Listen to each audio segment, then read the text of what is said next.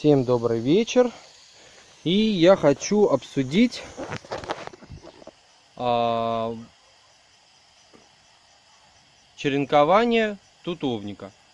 Как я и говорил в предыдущих роликах про тутовник, то когда я жил в центре города, а, у нас а, рос тутовник между проезжей частью и э, трамвайными путями. Он был белый, слегка розовый такой, белый, крупный, вкусный, медовый. Я пробовал в том году его черенковать, у меня не получилось, я поздно его черенковал. А, в этом году весной поехал, а, хотел сломить ветки, поставить в воду, как я размножал свой черный тутовник удачно. А, обнаружил то, что дерево спилили полностью под, под землю пенечек, так как строят э, стадион, все вроде бы обрезали, что ненужное, но он вырос. Я вам показывал. Вот я сорвал, обрезал сейчас, черенки подготовил. Выламывал я их от пенька прям, вот так. То есть получается здесь древесина, как раз она предрасположена к образованию корней. Корни должны образоваться отлично. И я сейчас оставил вот по два листочка, где-то листочки я вот так укорачивал, по два листка и черенок. Буду углублять наполовину. Грядку подготовил.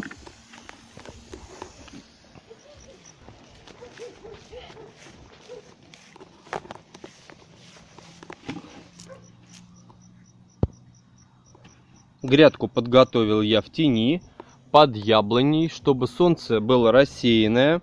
Здесь у меня туя принимается, это мама сажала вот так, грушу я пересаживала, растет на прививку. Здесь я сейчас произведу черенкование. Черенковать я буду тутовник. Здесь у меня песок, э, компо, ну, подстилка перепревшая уже. И я буду углублять черенки Вот так, немножко под наклоном. Ну, почему-то под наклоном рекомендуют углублять черенки. Вот так я их углубляю. И потом я найду, э, наверное, либо дуги, сделаю,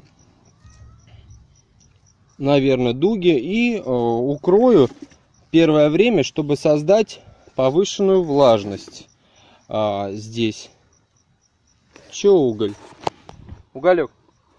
Что такое? Че мой облезлый котик? Че? Ой! Вот. Я сейчас это дело черенкую. То есть черенок с двумя листочками. Обрезал листья, чтобы испарение влаги было минимальное. И воткну. Я надеюсь, что черенки эти примутся, потому что это у меня будет, если примется тутовник, во-первых, память, как мы лазили в детстве за этим тутовником ездили трамваи. Мы залезем на дерево и едим этот тутовник. Не думали никто, что там возле дороги. Да машин было там в конце 80-х не так и много. Это у нас в Волгограде, это не Москва. Все, вот так черенки я воткнул. Что примется, то и примется. Отлично. Я сейчас еще раз пролью, чтобы утрамбовалось все хорошо. Облег... Чтобы земля хорошо упрессовалась вокруг ствола. И накрою пакетом. Вот так я установил дуги над тутовником повыше, чтобы сильно конденсат не капал на них, а стекал. И сейчас пакетом укрою все это дело. И буду надеяться, что все прекрасно приживется. Тут у тутовника очень хорошая приживаемость при черенковании. Когда я черенковал яблони, груши, смородину, тутовник, сливы пытался, иву э, и вербу, Верба хорошо корни дала, тутовник прекрасно дал корни. И смородина золотистая дала корни хорошо. Яблони, груши, слива вообще не дали корни. Очень плохо, они не прижились у меня. Это я пробовал первый раз черенковать. Что-то, может быть, я неправильно сделал. Я их ставил в воду э, где-то в начале марта. Но у меня не приживались. Это было года два назад. А, но тутовник, который я черенковал, он прижился, я его высадил, он у меня коренился, и сейчас вот он с меня ростом. Тутовник отличный. Вот сзади меня тутовник, который я сажал черенками, уже с меня ростом. Вот этот тутовник, это вот как черный, который я собираю, это я от него делал а, срезы. И вот такие деревца у меня уже Здесь их штук, наверное, 6 или 7. Точно. Вот их надо будет рассадить, наверное, осенью, либо следующей весной, я не знаю, потому что это уже густо очень. Там у меня мальва растет еще позади них и абрикосина.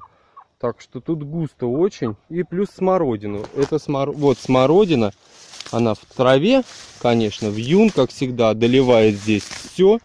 Вот эта смородина, вот золотистая, это я тоже черенковал. А, смородина это желтая.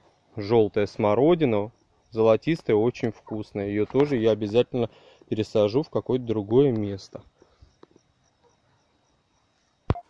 Вот так я сделал парничок. Теперь нужно будет заглядывать в первые дни опрыскивать.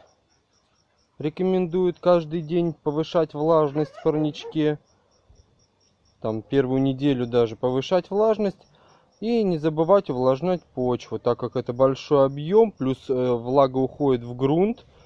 Э, ну, размножится тутовник, я надеюсь, вот уже влажность начала повышаться.